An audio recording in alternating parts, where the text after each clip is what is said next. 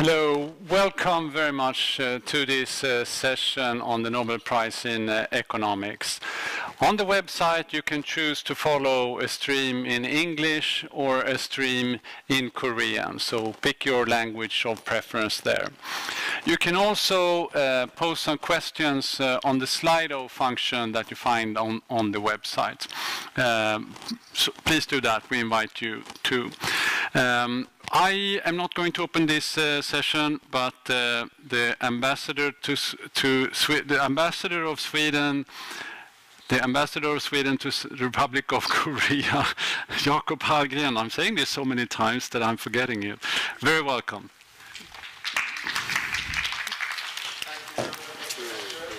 Anders.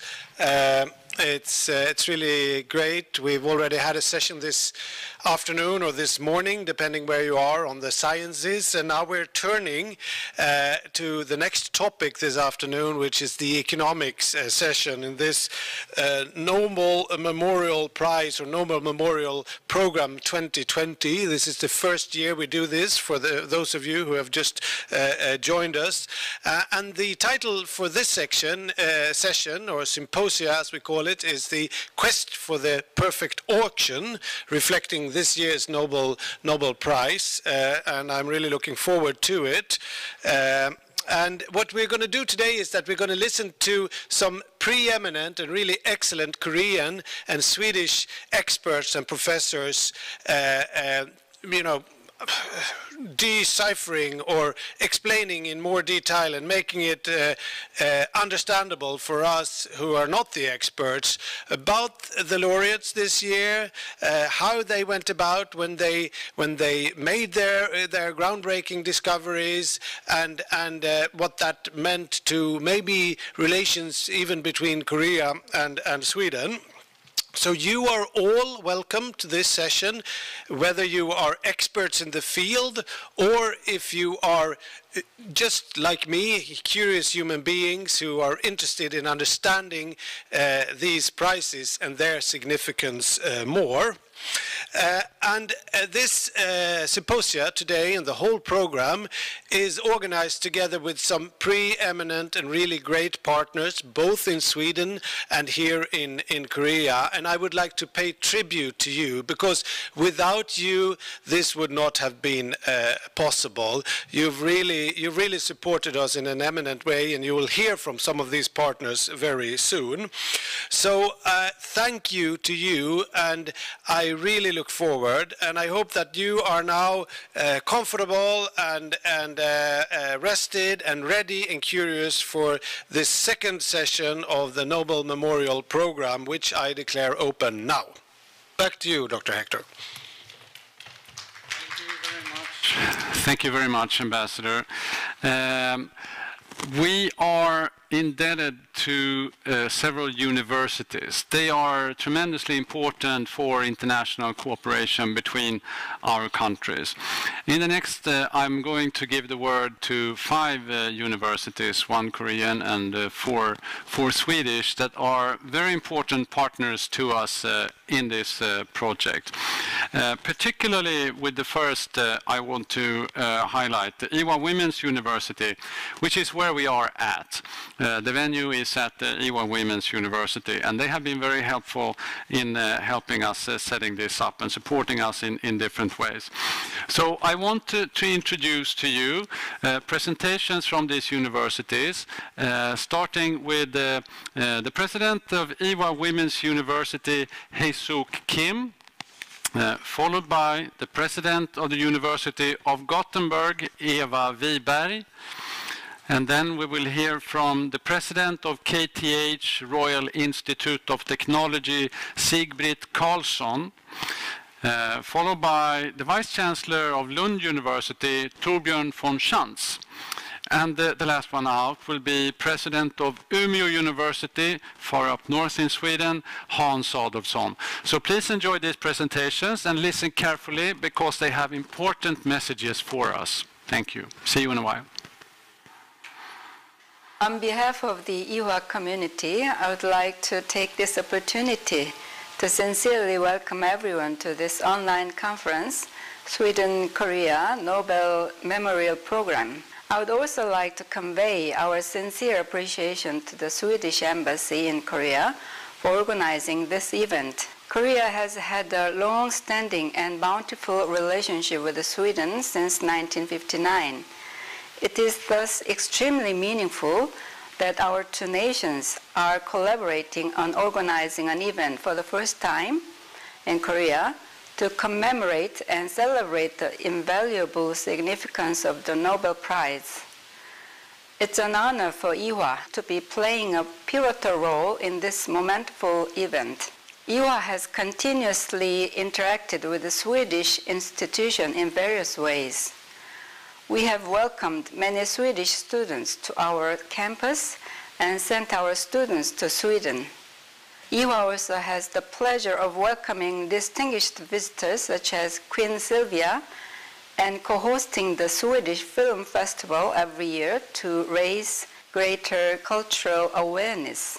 I have no doubt in that through this event, Ewha will further contribute to strengthening between two nations. I am proud that Ewha's Department of Economics is a partner organization for this symposium and this year's Nobel Prize Awards in Economic Sciences.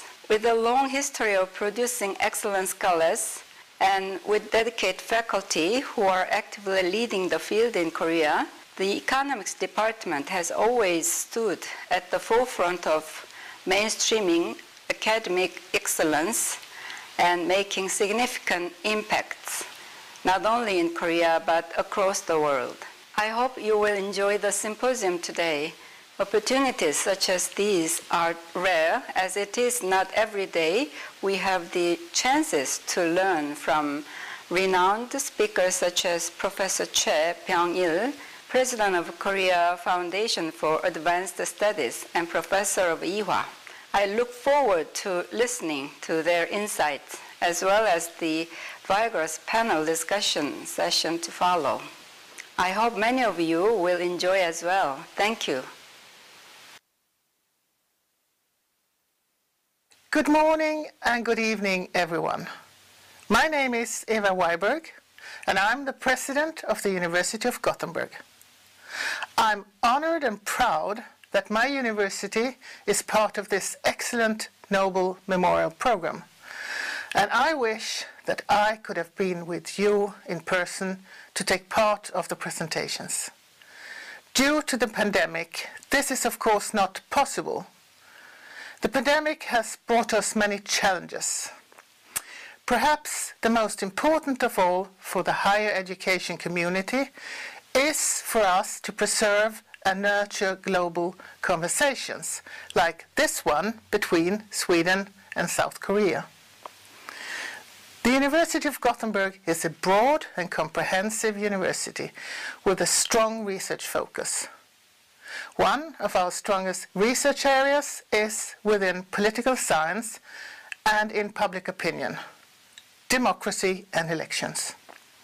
In this field of political science, there is also an established research collaboration with Yonsei University. The collaboration is also strong within education, where the university has exchanged 200 students with Korean universities over the years. We are hoping that this is only the beginning of an, intensified collaboration in education and research with the Korean higher education community. The Nobel Prizes are the greatest celebrations of science. In the year of 2000, the same year when Kim Dae-jung from South Korea was awarded the Nobel Peace Prize, Arvid Carlsson, Professor Emeritus at the University of Gothenburg, was one of three laureates in physiology medicine. A celebration of science, truth and facts, such as the Nobel Prizes, are of increased importance in challenging times when the international community must act jointly to fight a pandemic. It is with pleasure and pride I see the development of this joint collaboration between our two countries. I hope to meet you all in person in Korea during next year's Nobel Memorial Program.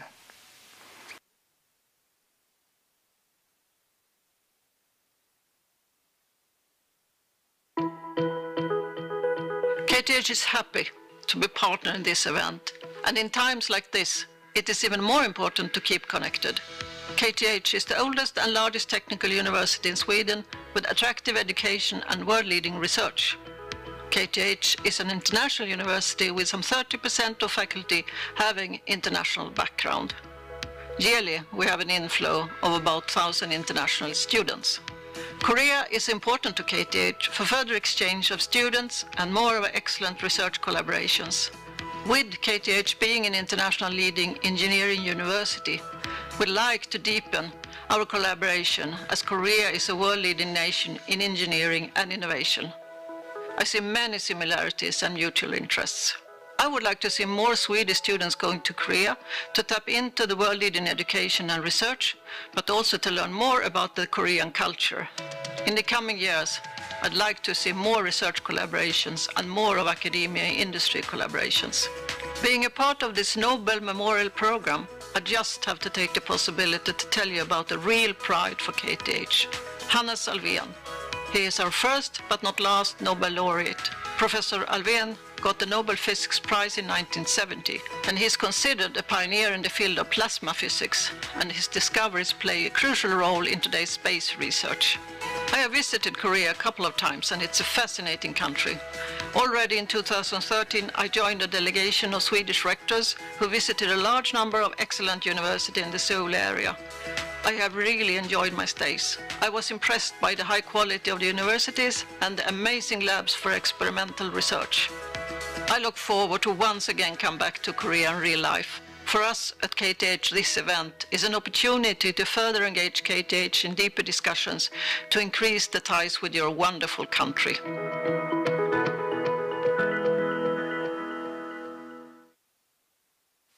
Ladies and gentlemen, on behalf of Lund University, it is an honor to welcome you today to this Nobel Memorial Symposia.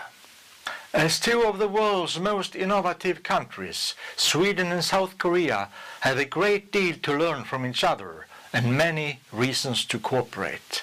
Learn and cooperate on emerging technologies, digitalization and AI, and sustainability issues, to name just a few areas. South Korea inspires us in many ways. One example is the large investment in electric roads that Sweden is now making, such as the Evolution Road project here in Lund. This was all inspired by the work KAIST has done with inductive electric roads, the so-called OLEV project. So collaboration with South Korea is important to Lund University. Last year, we decided on an action plan for collaboration with Asia, and South Korea occupies a prominent place in this work. Here in Lund, we host two of the most advanced research infrastructure projects in Northern Europe, MAX4 and the European Spallation Source. Such facilities provide a strong foundation for furthering research cooperation with South Korea. It is my hope that the Nobel Memorial Symposia will stimulate increased scientific ties between our countries and between individual researchers. I am glad that you are joining us for this event and I wish you all success. Dear friends of Korea and Sweden, greetings from Umeå and Umeå University. My name is Hans Adolfsson and I'm the Vice Chancellor at Umeå University. And as the university, we are very happy to be part of the Swedish-Korean Nobel Memorial Program today.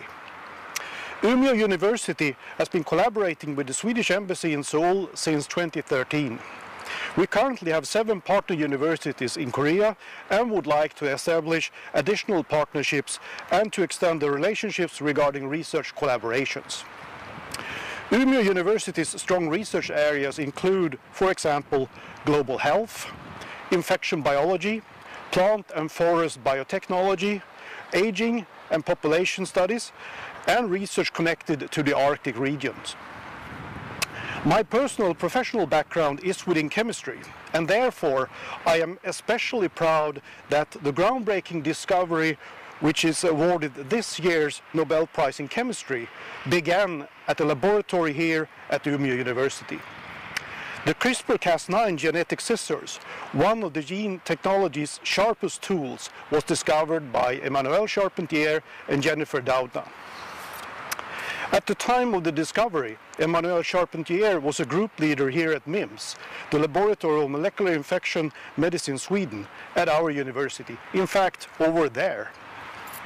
She often mentions Umeå as a place where she really could focus on her research and that it was a great platform for networking and sharing ideas. I personally had the opportunity to visit Seoul in 2014 and it was a great experience. Therefore, I also look forward visiting Korea again and hopefully next year's Nobel Memorial Program can take place in Seoul. So, with that, enjoy today's meeting and do take care. Thanks. Thank you very much for those uh, words from universities in Sweden and in Korea. And they really confirm to us that Korea is important to Sweden. There's no hesitation about that. This session is about the economic sciences, the Nobel Memorial Prize in Economic Sciences. It's a special prize because uh, in different ways it's uh, the only one that's uh, in the social sciences and it's come, uh, myself coming from the social sciences I would say it's the most important of the Nobel Prize categories. Um, for the reason that uh, it awards achievements to understand and describe how we build the societies that we live in and what could possibly be more important than that, I ask. Our first speaker uh, will be Professor Olof Johansson Stenman. Economy is more than the utility maximizing rational decision maker to Olof Johansson Stenman. People care greatly for things like equality, fairness, moral, social norms. And this is keeping Professor Johansson Stenman busy, and he will talk about the price in economy and about how economics can contribute to a better world. A very warm welcome to Professor Olof Johansson Stenman.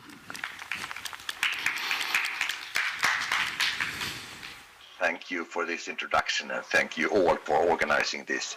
Uh, so good morning and good evening. I would just like to reiterate that it would of course have been even more fun and enjoyable being in Korea. I've been there three times before, and both Seoul and, and, and other places of Korea, and I've uh, thoroughly enjoyed each of those times a lot. Uh, so that uh, the, the um, I will talk about economics for the greatest benefit to humankind. Uh, I'm Olof Johansson Stenman, professor of economics, including behavioral, public, and environmental economics at the University of Gothenburg. So, uh, broadly, the structure of uh, my talk will be as follows. I will start by saying something fairly brief about this year's Sveriges Riksbank Prize in Economic Sciences in memory of Alfred Nobel, as it is formally called, which I will refer to the Nobel Prize in Economics from now on. Uh, after that, I will talk about the role and importance of research in the economic sciences more broadly, and even more broadly in the social sciences in order to contribute to a better world. Finally, I will say a little bit about different kinds of research and economics, including kinds that has been awarded the Nobel Prize before concluding so, as you all know, uh, the Nobel Prize in Economics 2020 was awarded jointly to Professors Paul Milgrom and Robert Wilson for improvements to auction theory and inventions of new auction formats. They have thus studied very intensively how auction work and also how they ought to work. They have also used their insights to design new auction formats, both for goods, but also, and even more so, for services that are difficult to sell in a traditional way. For example, radio frequencies. Uh, as a consequence, their discoveries have benefited both sellers, buyers, but perhaps even more importantly, taxpayers around the world. Uh, I think it's fair to say that the first application was in 1994 when the US authorities first used one of their auction formats to sell radio frequencies to telecom operators. But since then, many other countries have, have followed in that development and there are many, many examples of auctions like that. I think it is perhaps particularly interesting to note that as is often the case in natural sciences, uh, their research started out with fundamental theory and later used their results in practical applications, which I don't think they really could have understood at the time when they made their more basic and fundamental discoveries. Uh, and these applications have then, as you know, then subsequently spread globally. And I would like to um, highlight uh, the similarities with natural sciences in, this regard. And there I think is well known. There is, of course, con constantly almost a discussion whether it's too much or too little based spent on basic sciences compared to applied sciences. I will not say much about that, but but almost everybody realizes that also fundamental and basic sciences has a very important role to play. Uh, but it's, I think it's less known within the social sciences, including the economic sciences. And I think that's a pity. I think it's very important that that um, it becomes more well known that also in the social sciences it's important not only to focus on specific applications because there are fundamental breakthroughs and method developments etc which are essential for uh, those subsequent uh, applications and which are typically not known when uh, the discoveries of those fundamental uh, discoveries are made. So uh, what is economics or economic sciences really?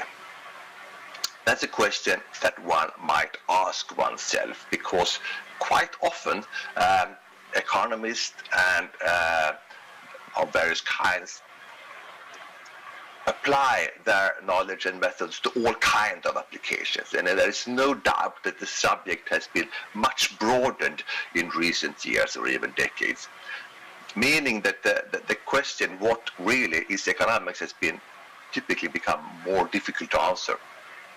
Indeed, I would say it's, it's often quite unclear whether certain research is economics, political science, psychology, archaeology, history, sociology, statistics, or something else. In my mind, this is a very positive development uh, it, it, it, may be a little bit difficult to categorize things and that may cause some problems for people to in order to, to, to put labels on things but overall I think it's very good that disciplinary borders uh, are crossed increasingly uh, and I think it's scientifically sound that methodologies from different scientific disciplines backgrounds and, and traditions are applied to similar problems.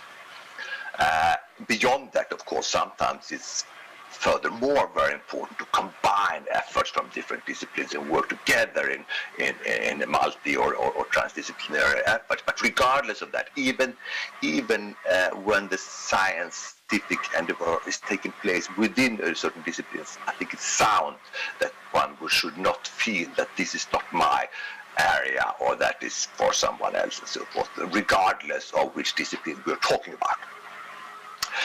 Nevertheless, uh, regardless of what we call it, economics or something else, is this kind of social science research really that important? Um, before answering this, uh, I would like to highlight the enormous progress that has been made in the natural sciences. Indeed, I think it's fair to say that we now have scientific and technological knowledge to deal with and actually solve major challenges of the humankind, including the poverty issues. We know how to produce sufficient food on Earth, no doubt about that. Tropical diseases such as malaria, dengue fever, or what have you. We know basically how we could deal with that. Environmental problems, including climate change, we have technological solutions to take care of that. We don't apply it, but we have it. Natural resource scarcity. We know how to substitute natural resources to, to, to, to renewable ones to deal with that essentially. Yet, despite having sufficient knowledge in the natural science sense and technological capabilities, none of these problems is still solved. And some of them are actually getting worse over time as we speak. Thus, it is not sufficient with natural science knowledge. We also need systematic knowledge of the society at large, including what drives individual behavior, firm behavior, and different institutions, including the political systems. Consequently, I argue, we also desperately need the social and economic sciences. Of course, this does not mean that we, there are any sort of quick fix to solve all of those problems, but we need the knowledge and analysis. There are also some important social problems where natural science perhaps cannot contribute that much. We have problems of racism, political populism. Some would argue that it's increasing a problem of political populism uh, around the world. Uh, segregation, huge problems within many countries. Uh, and even more obvious examples such as wars, including the risk of nuclear wars. These are essential problems to deal with. Of course, no easy problem to solve by any means, but knowledge in dealing with them, in understanding the underlying mechanism and how to deal with them is essential. In some fields, the connections between natural and social sciences are particularly important, I think You can think of problems such as anti, uh, antibiotic resistance, an increasing problem around the world, uh, virus protection, uh, not least important these days, of course, uh, food regulation, how that would work, climate policy, issues such that where where neither natural science nor social sciences by themselves are of course sufficient. We need the cooperation in order to deal with those problems in an effective way. Um, now I will I will talk a little bit of different kinds of of economics within the economic sciences or economics. The quantitatively dominating part and increasingly so in recent years and decades, is empirical. As you realize, I think empirical research is, is um, to some extent uh, a larger challenge within the social sciences compared to natural sciences. It's harder to make uh, controlled experiments, for example. I will come back to that issues. Um, some of the issues we are really important, uh, that are really important, that we really would like to measure, are very difficult to measure. And unfortunately, often the issues that we really care very much about are hard to measure. Uh, how does economic growth or GDP relate to higher education and research? That's obviously important. Uh, how does democracy relate to economic pro progress? uh, does growth decrease with the amount of redistribution through the tax system? Or maybe the other way around, and maybe it's context dependent. Many of those answers are in fact context dependent according to present research. And even more broadly, what are the most important determinants of human well-being? It's so clearly not only material well-being, right? But but what should we aim at maximizing in some broad sense? So there is often a trade-off and, and what we can measure quite well are unfortunately often not the issues that we care very much about, but, but uh, there are of course a great scale and number of issues are important and possible to measure to various extent. Um, as I mentioned, it is typically harder in the social sciences to conduct controlled experiments compared to natural sciences. Uh, although one should say that it is not always easy in the natural science either, of course. I mean, we can think of astronomy, for example, where, where clearly you cannot hardly, at least most in most cases, you cannot make make, uh, make controlled experiments.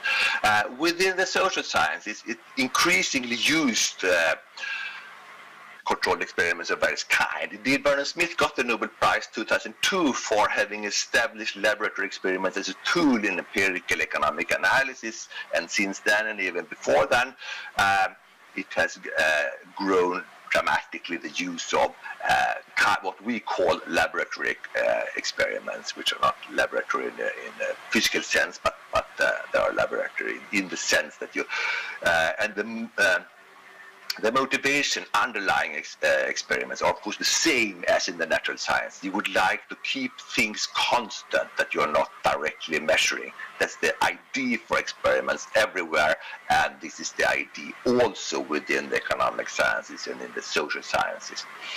Uh, there are of course pros and cons of that. Uh, there is, a, compared to the natural sciences, um, in the natural sciences, a molecule would hardly think, hmm, am I part of an experiment now? Maybe I will act differently than I would do otherwise.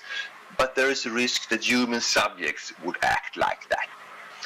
Uh, so there are other kinds of experiments as well taking place. In, in 2019, for example, the Nobel Prize in Economics was awarded to Esther Duflo, uh, Banerjee and Michael Kremer for their work adapting the methods of what is called randomized control trials, a kind of field experiments, uh, to the field of development, including problems re related to starvation and also basic education, for example. And an advantage with this kind of experiment is that then you're adapting them without the subjects being uh, being uh, uh, understanding they are, that they are part of an experiment. So they would typically then behave in, in, in a more uh, realistic way compared to how they would do otherwise. But there are, of course, pros and cons in many kinds. Uh, in fact, my conjecture is that we will also soon have a, a Nobel Prize related to so-called natural experiments or quasi-experiments, uh, uh, by which we mean methods to identify naturally occurring phenomena where data takes the form as if it would have been constructed by an experiment. We will see. That's my conjecture and that's a, that's a field within the social sciences where there's much progress taking place in, in recent years, where where, where the improvements, uh, the possibilities to make uh, causal inference are are are, are uh, that's the major advantage compared to more controlled structural approaches. Also. Uh, nevertheless. Um, I would say empirical challenges in order to obtain causal relationships that we would like to have, of course, prevail. Uh, Okay.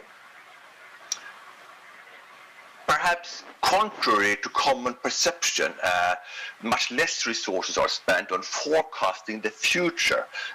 Sometimes economists get the rumor for being what sort of economists deal with, trying to predict the future, which is what very few economists or, or, social sciences generally deal with actually and it's of course super difficult to do that yet even though it is very difficult, it is also very important, not least in the long run. For example, what are the likely impacts in terms of climate change and corresponding social impacts given that we follow certain policy trajectories worldwide? Those are super important questions, I argue, even though we of course realize that we will be wrong in our forecast. It will be impossible to predict the future, but in order to contemplate and reflect over different possibilities depending how, of how we act today uh, uh, regarding the implications for the future, I think it's very important. Beyond empirical research, we also have research based on theoretical or deductive models. And even more so, I would say, compared to our sister uh, social sciences. These models are often highly stylized in many dimensions in order to highlight some specific mechanism of interest. They are often useful to understand puzzles or patterns in the society that at first glance may be difficult to understand. Uh, a famous old one is the diamond water paradox. Uh, we all need water to survive. No one needs diamonds to survive. Uh, still, diamonds are more expensive than water. Why is that? May sound like a silly or trivial question, but it actually took uh, uh, quite some, some, time before uh, arriving is what is now uh, uh, thought of as being a roughly correct understanding of the underlying mechanism. Other questions are, why is not the unemployment rate higher in countries where more robots are used? Since robots replace uh, labor uh, human beings in factories worldwide, uh, one would think that where you use more robots, then you should have more unemployment. But that is typically not the place, when, uh, the case when you look at it empirically. Why is that? Of course, there are theories understanding that, but at a first glance, it's not obvious why, or might not be obvious. Uh, returning to the global warming issues, one of the major challenges, of course, that we face as humanity today.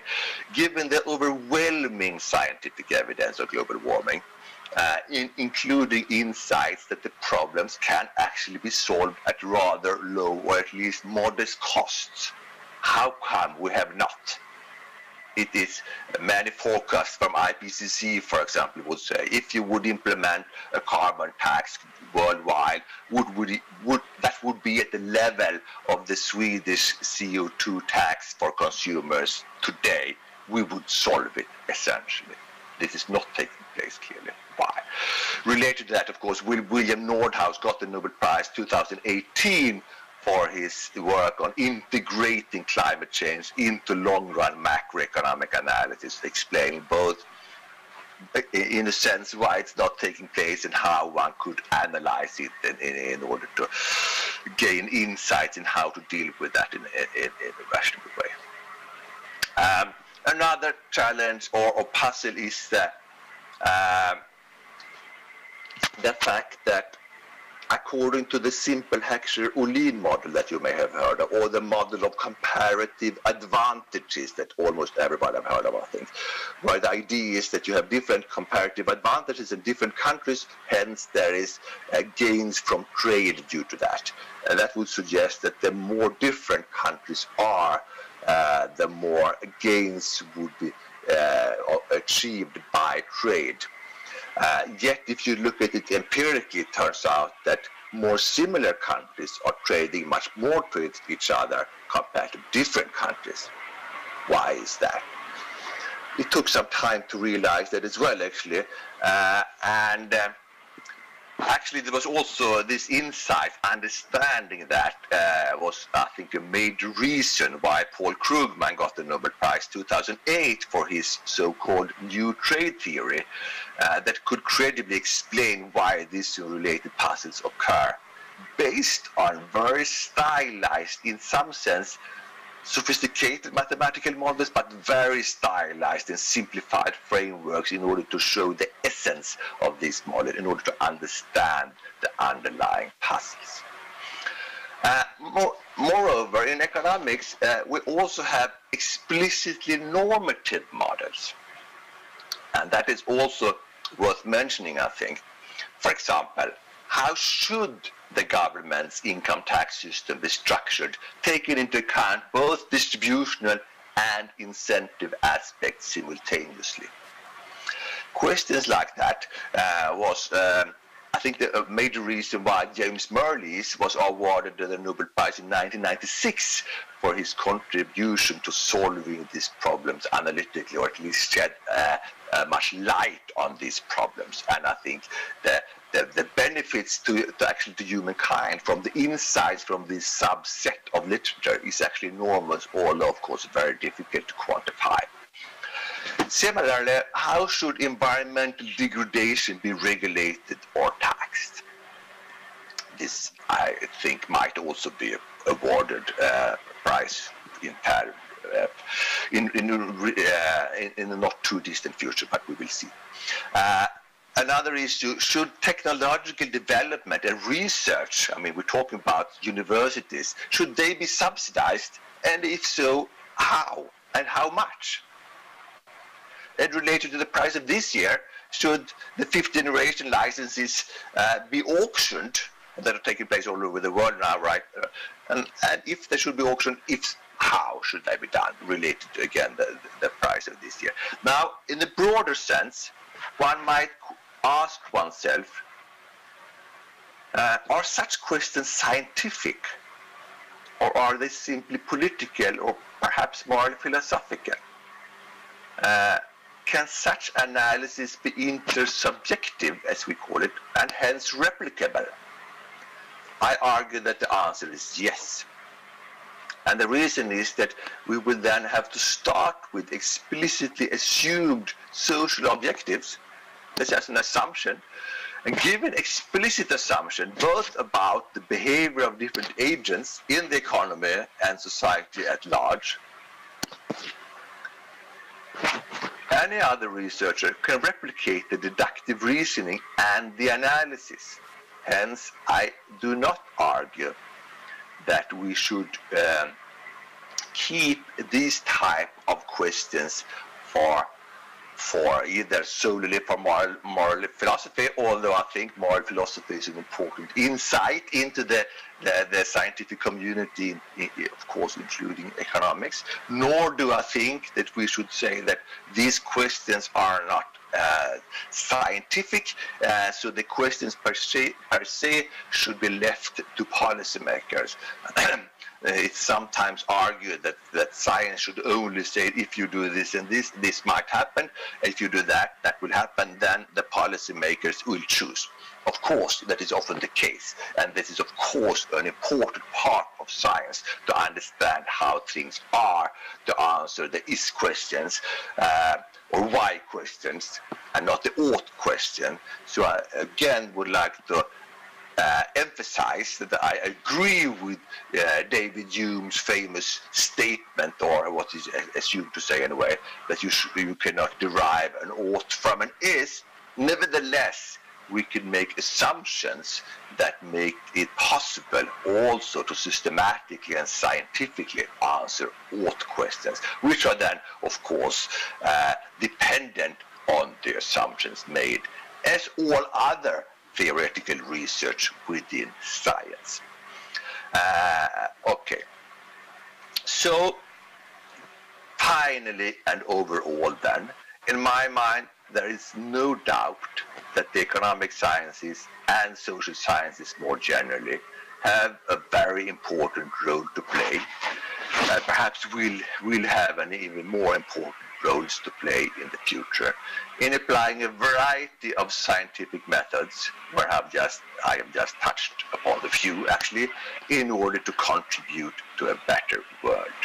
Thank you very much for listening. Oh, thank you very much, Professor. Thank you very much for that uh, expose. It was uh, very interesting, and there were several questions that I would like to come back to in a while. But first, I would like to introduce our second speaker today. Uh, Byung-Il Che is professor at Ewha Women's University, which is here where we are, uh, but it's at the Graduate School of International Studies. But he's also, and more actively today, president of Korea Foundation for Advanced studies. They are committed to promoting national growth through academic development. And among the things that they do are to send the brightest students to top international universities, which seems very worthwhile.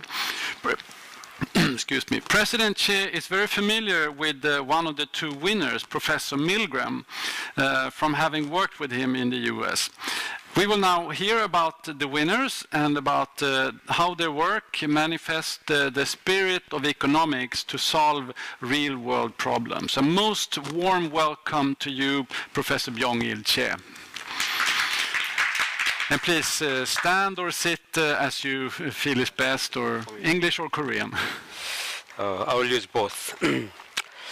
네, 감사합니다. 어, 이화대학 Thank you very much. I am a professor at Ewha Women's University and I have attended many conferences at this hall, but uh, it's a great honor for me to be part of this Nobel Memorial Program held together with Sweden.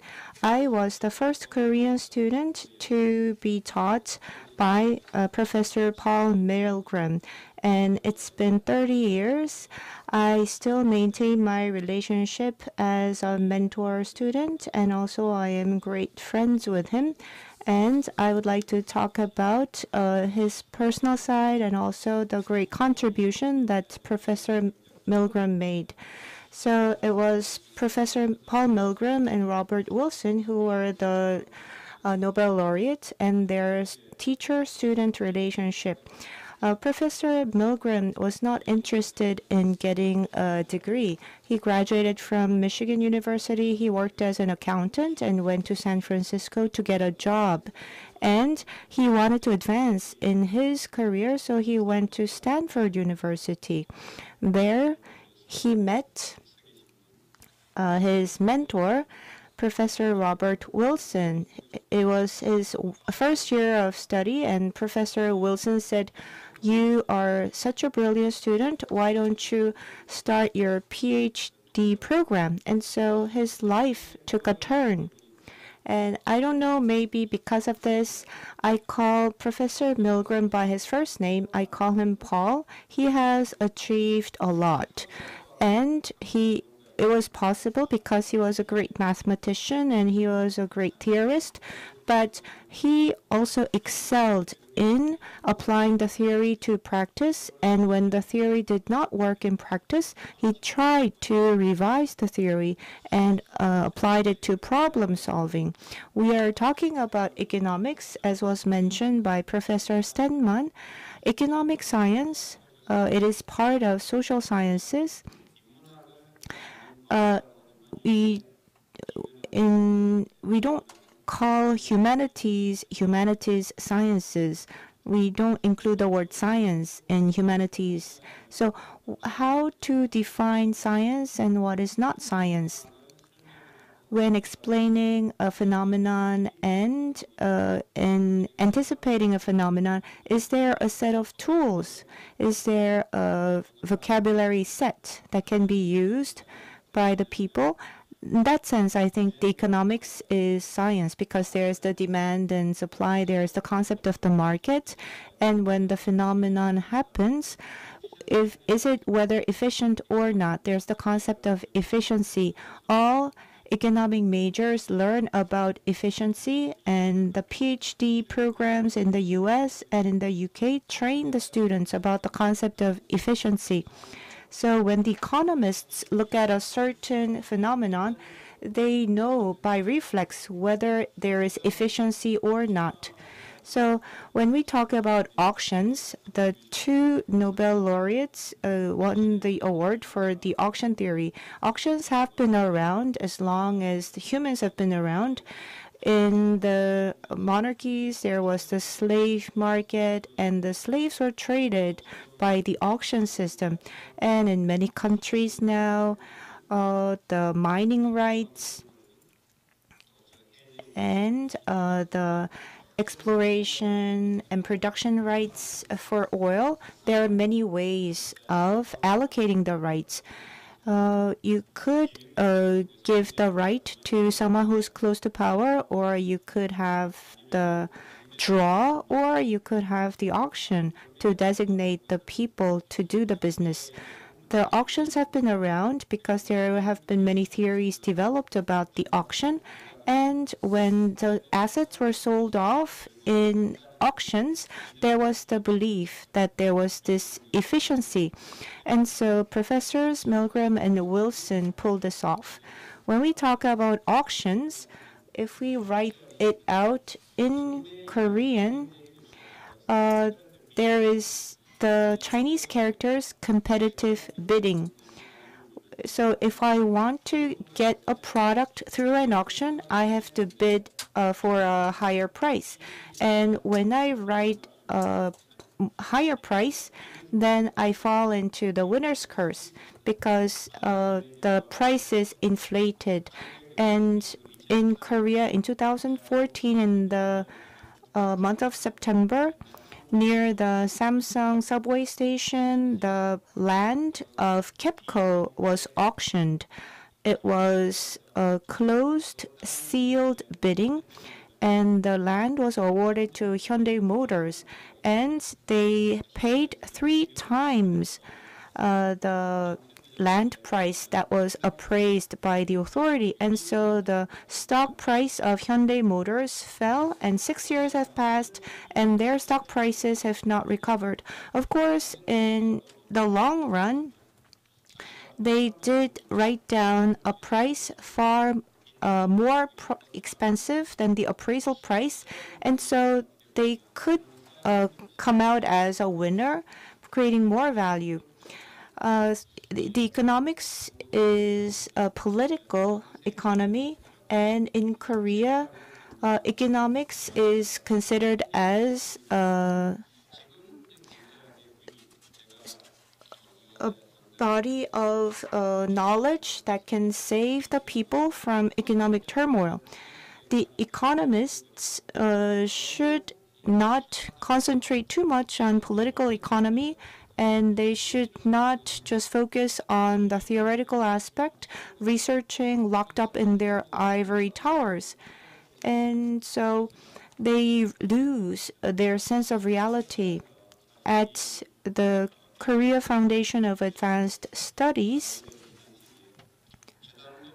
uh, we were thinking of the same thing. I wanted to uh, inspire more Korean scholars, and uh, KFAS has produced 800 plus PhD graduates, and uh, we have uh, produced a video, The Way to Stockholm, uh, KFAS has a YouTube channel, and I am explaining the auction theory to one of the students who came to interview me.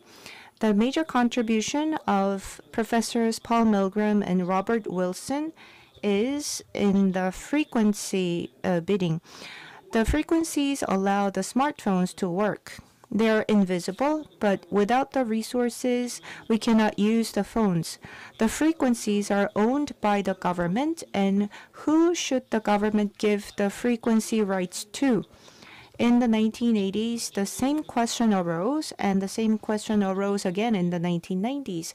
In the beginning, what they did in the US was the Federal Communication Commission, FCC, in the 1980s had uh, given out the frequencies through lottery. They thought it was the most fair method. And I returned to Korea and I was advisor to the Minister of Information and Communication. And Korea was interested in frequencies. And so many companies wanted to own the frequencies to be able to uh, become a telecom operator. And the Korean government uh, asked the companies to submit uh, business documents and the business proposals were reviewed. And in return uh, the frequencies were allocated. As an advisor and as an economist i proposed the idea of auction. And the response i got was auctions are all about rich people buying things uh, for a higher price and it's not fair. So people did not trust the auction system. And fast forward 2020, Korea is auctioning off frequencies. And so the economists used the economics to solve real world problems. And that's how the scene has changed. Professor Milgrom's way of auctioning uh, radio frequencies. Why was this innovative? In 1994, when FCC auctioned the frequencies, they divided the US into different blocks and they did the simultaneous multiple round auction to reduce the winner's curse. It meant that more people uh, remained in the auction and the government could also raise uh, more profits. So it benefited all the players. It was not perfect from the very beginning. Paul said that uh, you know there are so many unexpected variables, and every time he came across that, he fixed them. He was humble and he was uh, open to changing and bending his ideas and theories, and. Uh, he was a great advisor, a mentor, and he also taught me the importance of group work. Uh, this uh, picture is 11 years ago. This is the residence of Professor Milgrom. Uh, the young gentleman is my son. He graduated from UC Berkeley, and it was after his graduation ceremony. I went to Berkeley to attend my son's graduation, and Professor Milgrom found out, and he said he will throw a party. And so we went to his residence near Stanford, uh, one hour away from Berkeley. I came back to Korea in 1989, but he still inspires me to this day. I had studied game theory and informatics. I was always interested in trade negotiation and telecom issues, and I applied economics learning to real world problems. And Professor Milgrom uh, said that you are a student who is not putting to practice the game theory and the auction theory, but he always praised me for being an innovate being innovative and I was inspired. Other than auction theory, Professor Milgrom has made contributions. I was lucky enough. I, wa I was taught by Professor Shiller, Professor Tobin, and Professor Nordhaus. They're all Nobel economic laureates, and I was lucky to listen to their classes. And Professor Milgrom and Bengt Holmström his colleague in MIT in the 1980s when they were young economists.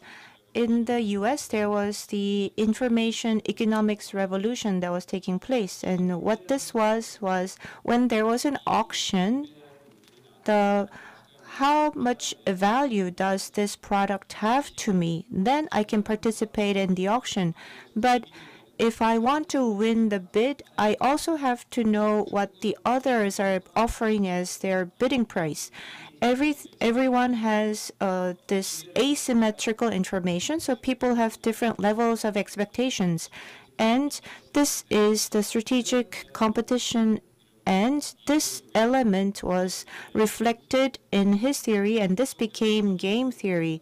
And looking at the organization, there's the hierarchical structure. At the embassy, there's the ambassador and then the counselor and the staff.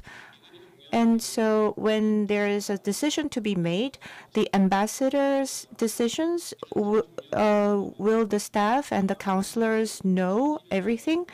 If the, everything was known, maybe people will not be telling the truth, and the facts may be uh, inflated, and there could be abuse and misallocation of assets and resources, and that is the core of economics. The economics theory before the 1980s, there it uh, they put aside the information asymmetry. They didn't think that was important.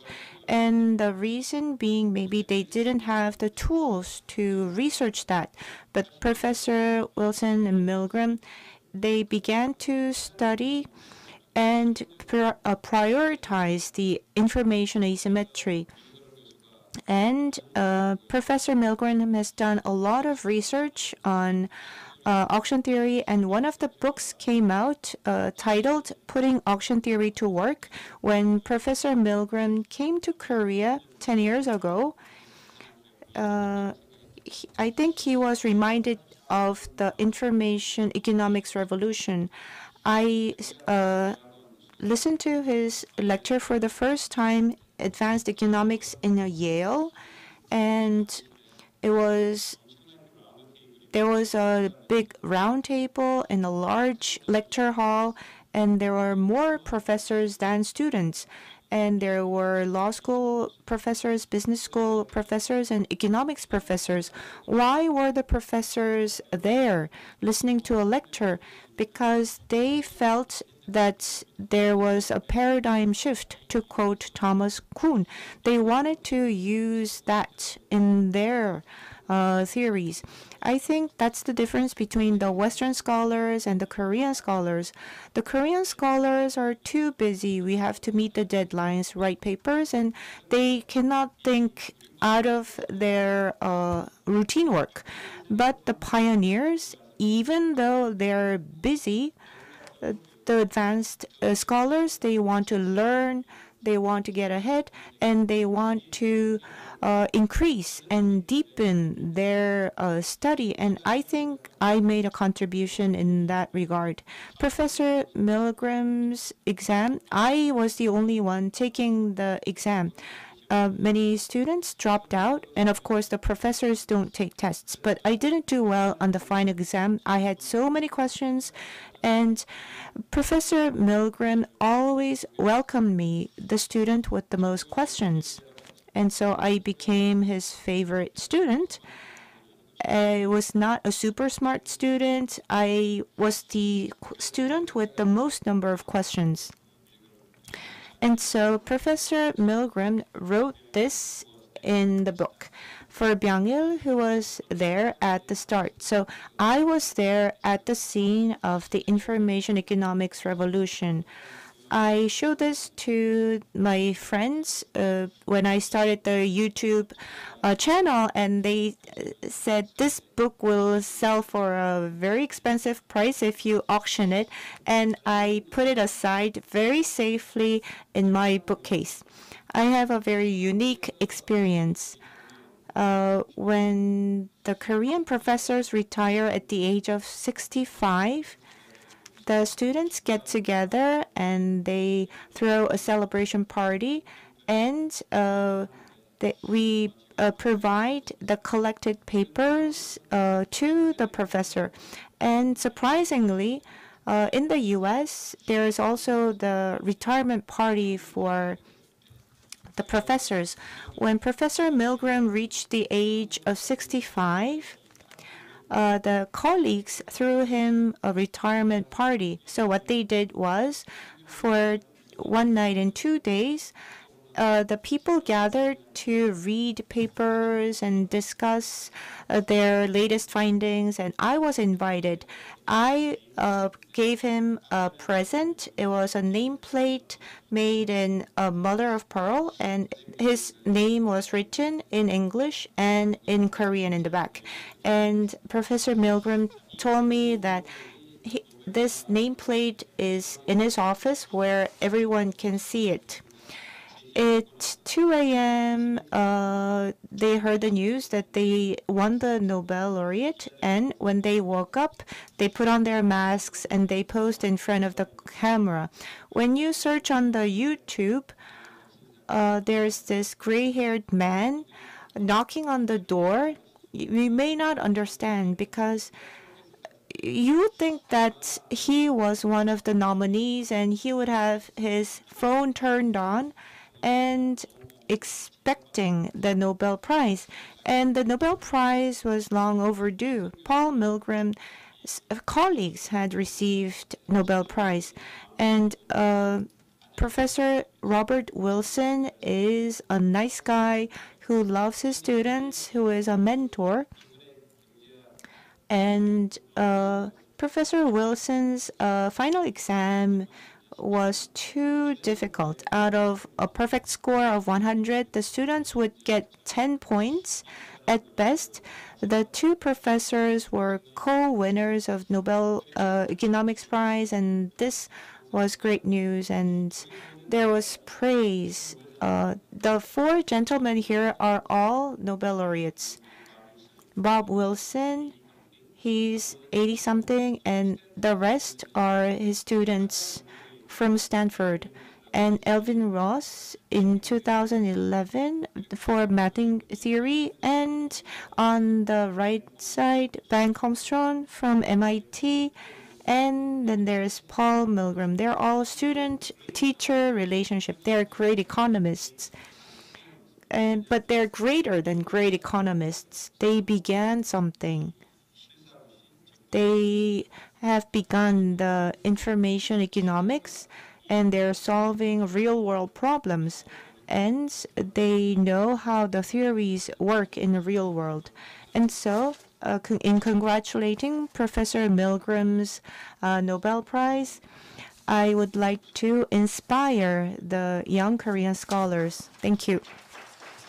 Thank you very much, Professor Shea. That was very interesting to thank you for sharing this uh, personal experience of yours with Professor Milgrom. I think that's very important. And I'm, I'm, going to have some questions about the significance of being two, of having a research partner that you're working close with as well.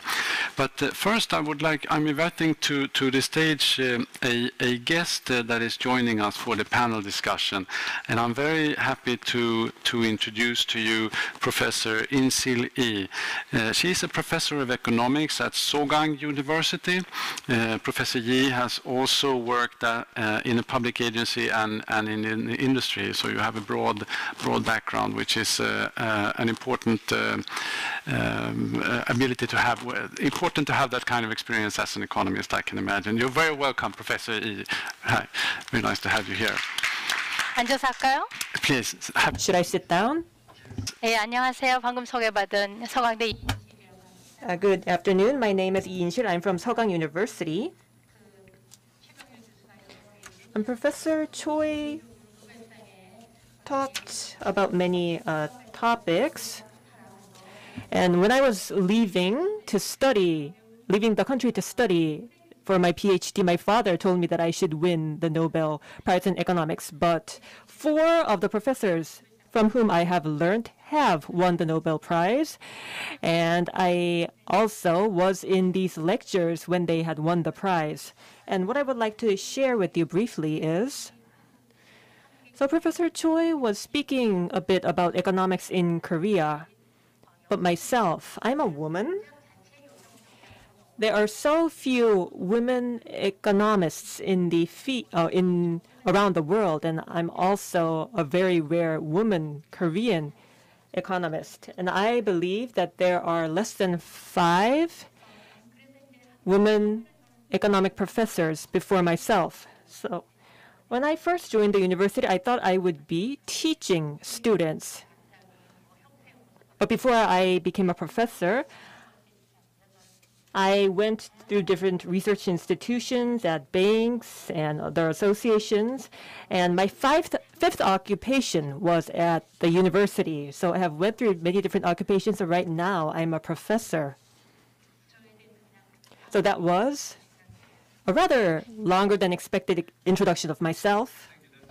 I, I, appreciate that very much. Mm -hmm. Can I ask you, uh, as a first uh, question, a very straightforward perhaps, uh, we haven't yet seen uh, a Nobel Prize, uh, a winner in the Nobel Memorial Prize uh, from Korea or, or even from Asia.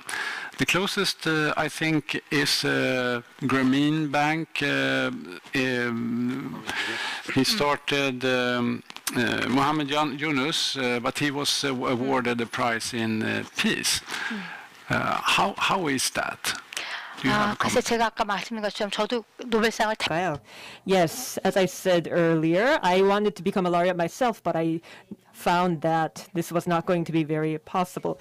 This study of economics has begun in the West, so that's how it is structured, and the Korean economy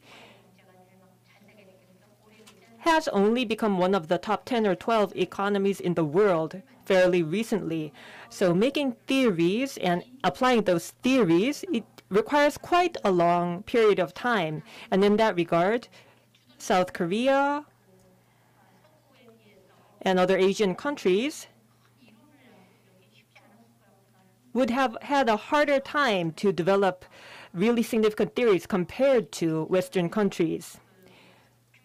But currently, in terms of uh, purchasing power parity, China has already surpassed the United States.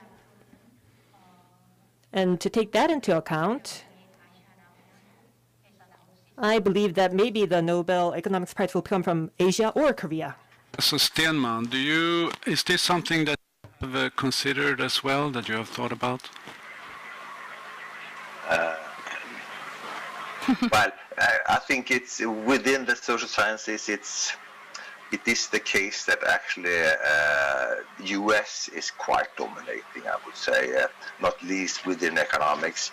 Um, so uh, it is partly, I guess, related to that. This is a strong economy. I would not think it's primarily due to the fact that it's a strong economy. They have had a university system which is fairly open and structured in the sense that has fostered uh, important contributions. Um, so I think uh, in a longer run perspective that we will see a more spread of laureates around the world, partly due to integrating integration and cooperation uh, around the world, also global cooperation within between, for example, Korean researchers, American ones, Korean and European ones, and so forth, and and uh, and that uh, major uh, uh, contributions will come out of that. I would also like to say that there are many prominent economists with uh, which with, a, uh, with, with, an Asian heritage, including Korean one,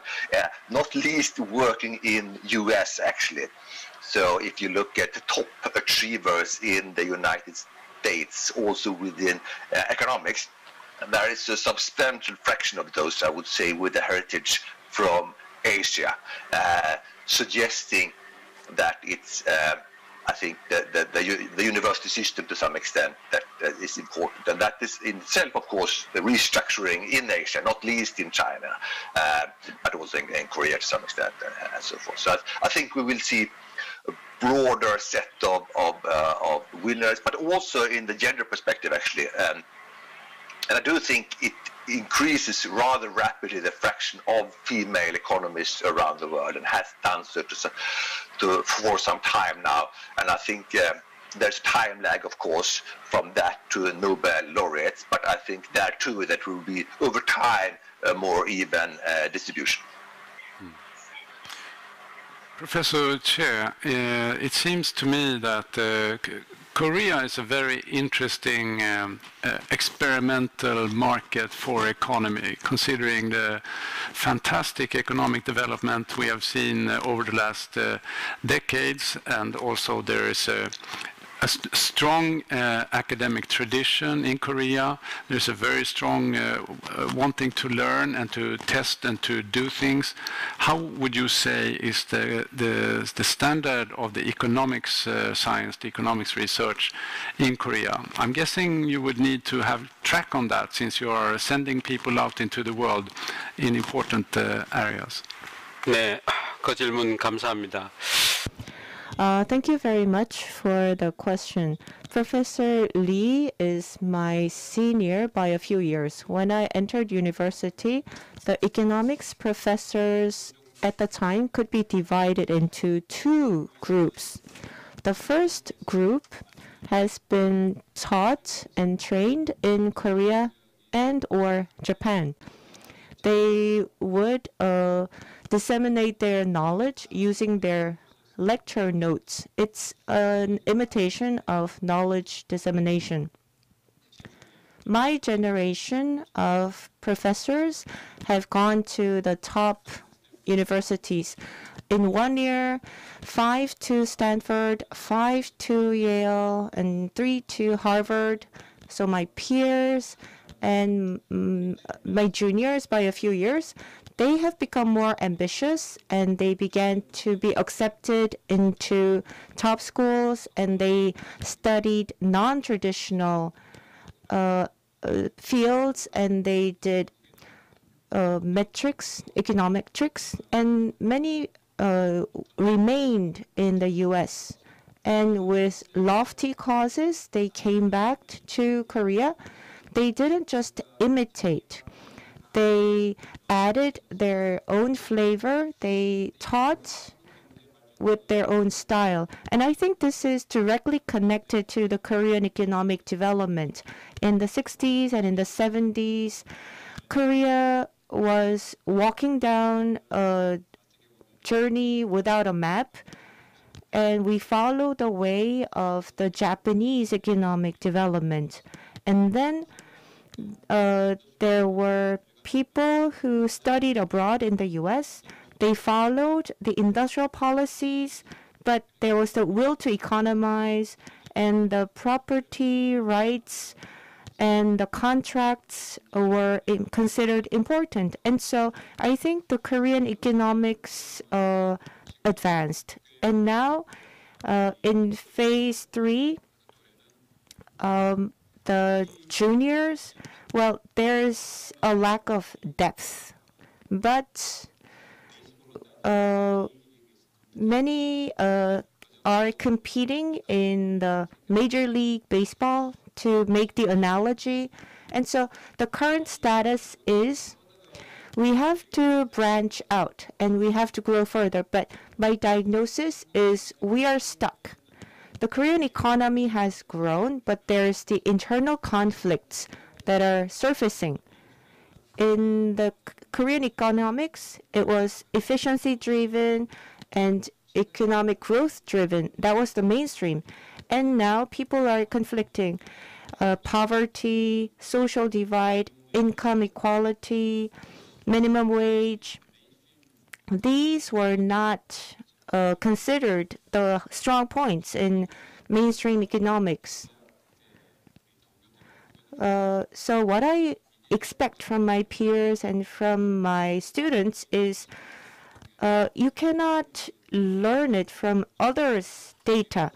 It's Korea's own problem, and we have to gather our data. So I think that's where we're struggling at the point. If we can overcome this, I think we can open a new horizon in Korean economics. Otherwise, it will be difficult. In the long term, I am optimistic, but I think in the short term, it is going to be difficult. I am teaching at Ewha Women's University, but the professors uh, are busy trying to fill the score for the annual citation and you know they have to publish in uh, impactful journals and they have to conduct joint studies in two or three years, but they don't have the assets and the resources. And so I think this is a serious issue.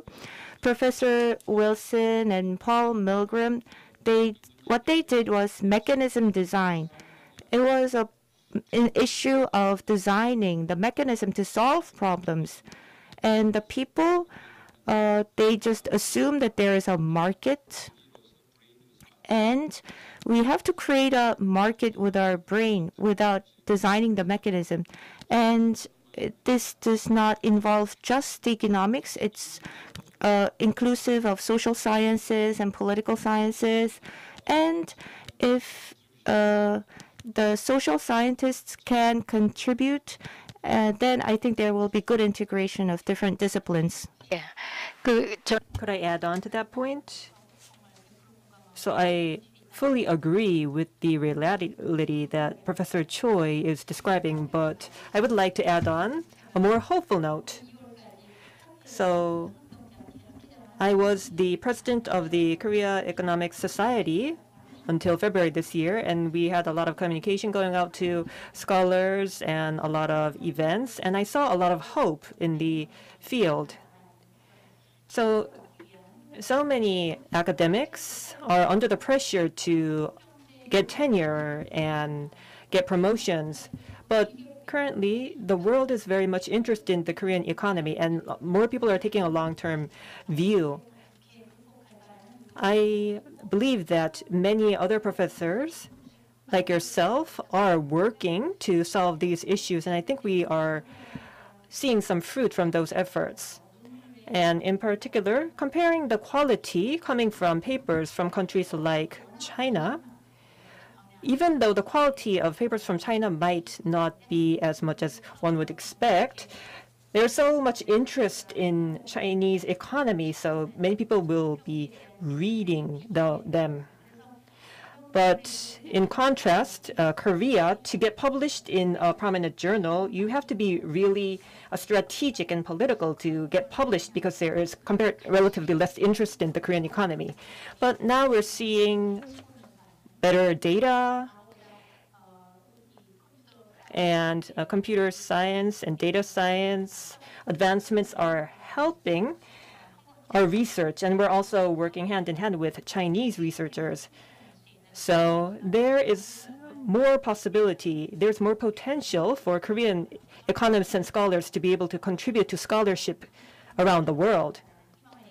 And I was earlier speaking about the possibility of a Korean Nobel Economics Prize winner, and I think that's going to come sooner than one would expect. Hopeful. And I'm, I'm reading in a, a little bit in, in all of your replies and also your presentations that it's not only about uh, the scientific uh, challenges, the scientific problem, it's also about uh, societal challenges where nobody mentioned the sustainable development goals, but uh, Professor Stenman, you mentioned many, many of the 17 different goals as uh, uh, issues worthy to, to address. And, and you ended with a wrinkle between your eyes saying, why is that? That's a wonderful, uh, wonderful um, query-driven approach, I think. Uh, but I'm, I'm getting the impression also that, uh, that you, there is some consensus among you that um, uh, economic science is moving in the direction of of policy or, or taking an interest in policy and what uh, the effects uh, of the, the learnings, the knowledge, the results can be, what they can have, such as uh, the results by Professor Milgrom and his colleague uh, that ha has had a very, very uh, specific utility in, in society. And, and Professor Stenman, you, you were talking about moving, moving in this ha harder direction for, for a more objective understanding in economic sciences. Are we actually moving uh, in in such a direction, and and is uh, is uh, teaching at universities also supporting this, and are students interested in this? Is this the general trend in the economic sciences? Uh, they are very broad questions, of course. Uh, generally, I would say, uh, starting with the students, they are, I would say, uh, um, earlier on in their development than their teachers, such as us, uh, in, in, in, I think, overall demanding uh, policy relevant issues, dealing with the broad social challenges. Uh, uh, there, I also think research-wise, we are often earlier than teaching. There is often a time lag uh, when things sort of are, are transformed from research to, to textbooks, etc. So there is a time lag. I think generally there is a role for self-reflection and also self-criticism that we, I think, as a discipline, uh, and I think that actually holds for all social sciences uh, are sometimes too slow, too much inward looking uh, in order to, um, and that we should focus even more on the, the, the, the, the large global challenges that faces the world today. And of course, there are research like that for sure within all social sciences. Uh, but if I, I sometimes make a thought experiment, if someone would come from an from a galaxy far away, uh, coming to Sweden, uh, coming to the Earth, and they would reflect. They would look into overall the amount of science taking place, including social science, and then they would look at the what how much resources are spent on on different issues. I think their conclusion would be that it's surprising that such a relatively minor part is actually spent on uh, what most people would agree on being the overall very large global challenges that we face today. So there is, a, I think it's moving in the right direction, uh, but it could be faster. Is it in Korea also moving towards the sustainable development goals and are students also pushing the teachers in front of them, requiring uh, this uh, attention to these areas? Yeah. Uh, uh, I'd like to share my opinion. The university education exactly for that reason, is failing. It's becoming like the old days. When I was an economics student, I was frustrated because there were issues, economic issues outside the classroom in the 1970s and in the 1980s. And then inside the classrooms, there were uh, advanced theories being taught, and the discrepancy between the two was too wide, and I was lost. I think similar things are happening. Uh, the economics curriculum in the universities are designed to be conservative.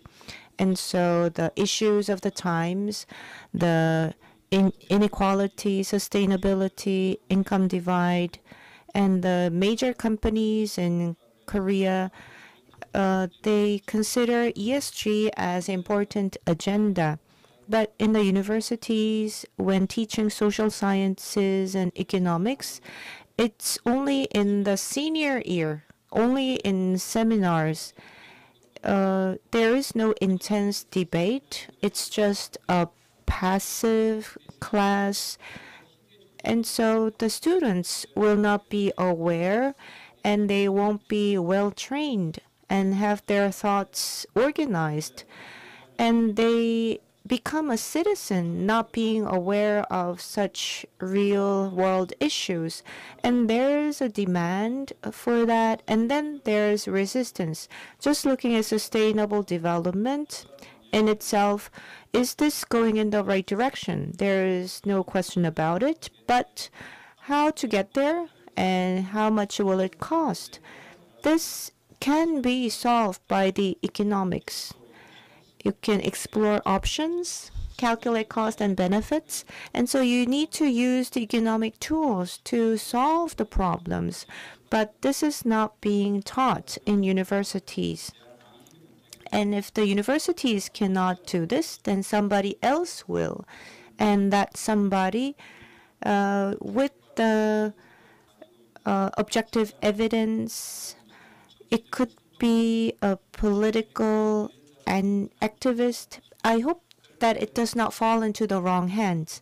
I so what makes the difference? That will uh, I think that will be the barometer telling how sound and how healthy the society is. I talked about economics uh, solving real world problems, and Professor Lee talked about uh, how Korea's economics compare with the other countries. Economics is a social science. We have to realize that. When we research the economics, it's not uh, simple enough to just explain it with the supply and demand graph. It's the whole society's problem. And we have to collaborate with the political, social, anthropological, students and professors, we need to have interdisciplinary collaboration. But in Korea and in many universities around the world, they only go deep in their own discipline. And so the academic reality and the political realities are too much divided, then we may not be able to attain sustainable development. As an economist, I guess I am only painting gloomy pictures. But if you uh, directly stare into the gloom, you may see the light at the end. Uh, yes, to strike that right balance, I would like to provide the sunny side.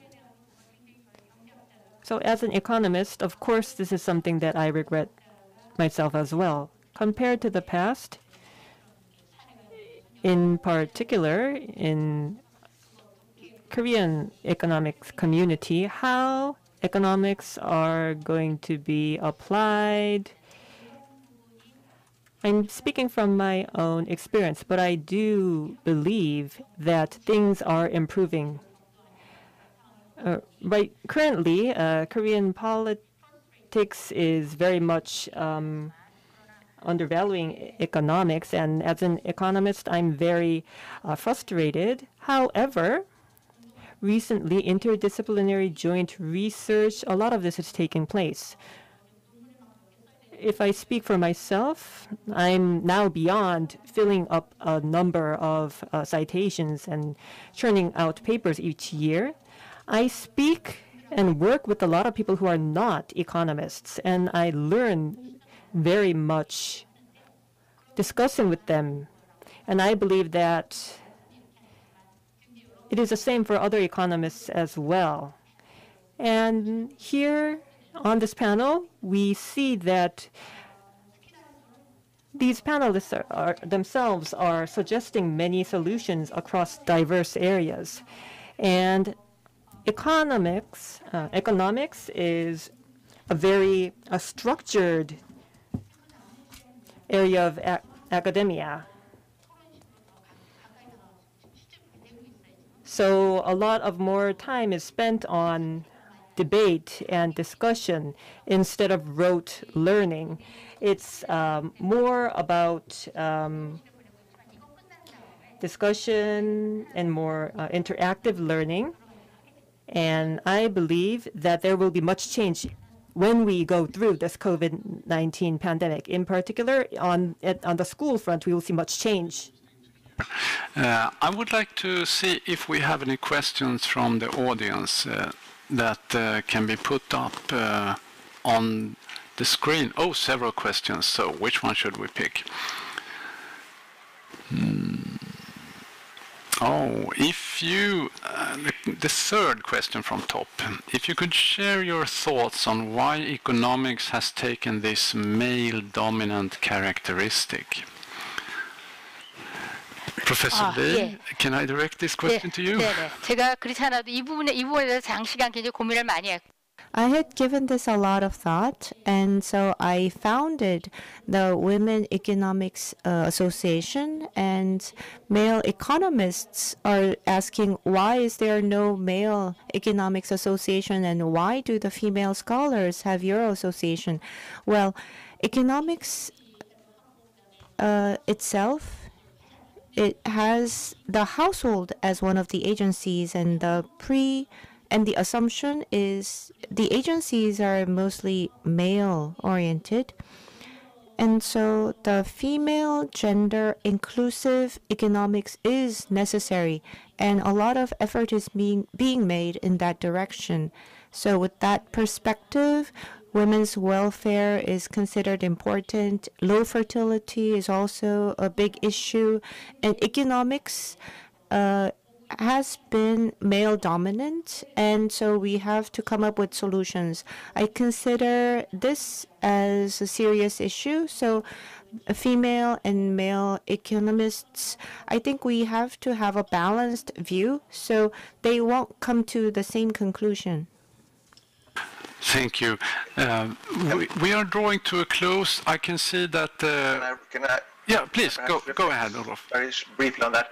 I I think there is. Um, I, I, agree with the reflections, but I also think there is, as economics has broadened in recent years, uh, that in itself has, has implied, or at least is correlated with uh, an increased share of women in economics. And if you look at the share of, of, of female researchers within uh, subfields such as environmental economics, behavioral economics, health economics, development economics, labor economics, you see a substantially higher share of, of uh, female economists there compared to sort of traditional fields in a sense uh, that you would that, that, that the disciplines were, were, were dominated by, uh, let's say, 40 years ago. So, so I think there is, uh, for that reason too, uh, and that goes in, in my mind, that both are sound development, both the fact that we have that the discipline is broadened, but also that in itself also, I think, contributes to reducing uh, the unfortunate male dominance within economics.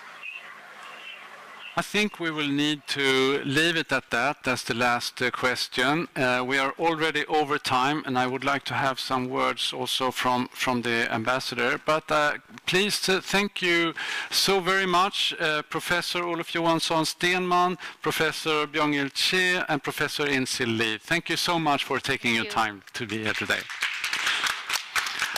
And I will leave the floor and the word and the microphone and uh, the standing pulpit to Ambassador Jakob Hallgren. We can walk this way. to give some closing remarks.